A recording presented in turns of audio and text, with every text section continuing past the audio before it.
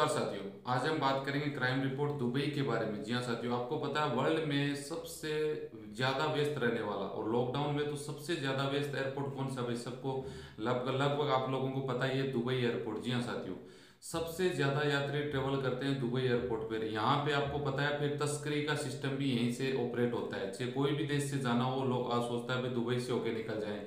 या दुबई में भी ड्रग माफिया एक तरह से इन चीज़ों को उजागर टाइम टाइम पे होता रहता है। हम बात करेंगे जी हाँ साथियों। दुबई एयरपोर्ट पे मैं बता दूँ, लोग इतनी तस्करी के मामलों में इतनी नीचता पे उतरते हैं। आपको पता है, पिछवाड़े में गोल्ड डाल के लाना, आपने देखा होगा, मैंने भी वीडियो बनाया, आपने भी न्यूज़ देखी होगी। अभी हम बात करेंगे मतलब तस्कर इतने सातिर बनने की कोशिश करते हैं कि आधा आधा किलो, जी हाँ आधा किलो ड्रग यानी आपको पता है दुबई दुबई में गल्फ में और दूसरी कंट्री में ज़्यादातर ड्रग्स का इस्तेमाल होता है तस्करों के द्वारा। तो ड्रग्स को कैसे, वो कैसे निकाले? सोचने की बात है ना, इतना भयंकर आइडिया इन लोगों के दिमाग में आता कैसा है? लेकिन इनको नहीं पता कि आपसे, आप जहाँ से निकलोगे ना, वो आपसे ज़्यादा मास्टरमाइंड है, क्योंकि वहाँ पूरा कंप्यूटराइज सिस्टम होता है, मशीनें लगी होती हैं।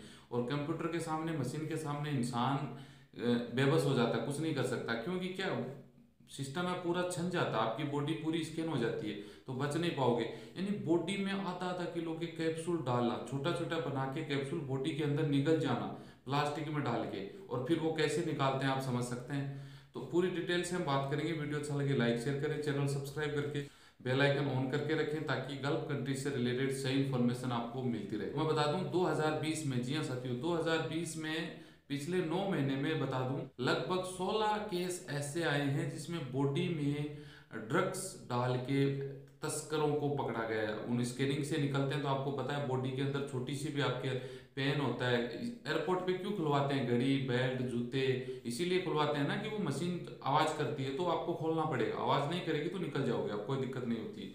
बॉडी के अंदर कुछ भी होता है तो फिर वो सिंगलन मिल जाता है और उसको साइड में कर लेते हैं।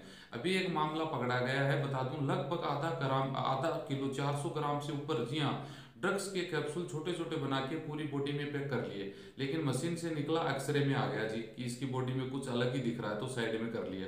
सोचने की बात है यार। अभी तक 16 केस ऐसे पाए गए हैं जिनमें बॉडी में कैप्सूल डाल के ड्रग वाले और वो लेके जाते हैं। कभी लोग गोल्ड पिछवाड़े में डाल के लेके आते हैं, कभी चप्पलों में सोना डाल के लेके आते हैं। अभी एक वीडियो और डालूँगा। चप्पलों में सोना डाल के लेके आया यार, वो पता नहीं कैसे लेके आते हैं, लेकिन फिर भी जयपुर एयरपोर्ट पे पकड़ा गया। आप देख सकते हैं डीएक्सपी यानी टर्मिनल नंबर टू दुबई में वरिष्ठ प्रबंधक फलाल अल खलील ने 11 बॉडी पैकिंग प्रयासों को पकड़ा, जिसमें जी हाँ साथियों, एक हज़ार इक्यावन कैप्सूल लीगल यानी एक हज़ार इक्यावन कैप्सूल बॉडी से निकाले गए। अब तक ग्यारह जो केस पकड़े उनमें सात हज़ार पाँच सौ इकसठ ग्राम नशीला ड्रग्स का वज़न था। जी हाँ 2020 में आप देख सकते हैं, नौ महीने के दौरान ट्रिब्यूनल टू में ये पकड़े गए हैं मामले। और उनके तरफ़ से ये कहना है कि भाई, हमारी जो सिस्टम है, हमारा जो मशीनें हैं लर्निंग मशीन है, वो इतनी ज़्यादा फास्ट है टेक्नोलॉजी की, बंदा कितनी भी चोरी करने की सोचे, उसको पकड़ में आना ही पड़ेगा। इसीलिए आपको पता है बॉडी में कैप्सूल इससे ज़्यादा तस्करी तो बड़ी हो नहीं सकती। उसको जब मशीनें कैच कर लेती हैं तो भाई आप समझ सकते हैं। तो आप में से अगर कुछ ऐसा सोच रहे हो कि हम इधर से ऐसे करके निकल जाएँ तो असंभव है। लोगों को भी अवेयर करें, आप इन चीज़ों का ध्यान रखें कि ऐसी गलती ना करनी है, वरना मुकदमा केस वगैरह वगैरह आपको पता है। और ड्रग की सजा तो भाई मौत भी है, आपको पता ही है।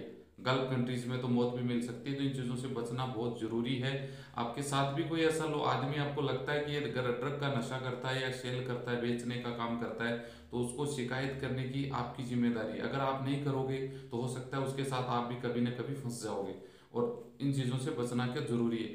मिलते हैं नेक्स्ट वीडियो में। अच्छी जानकारी के साथ। जय हिंद, जय भारत।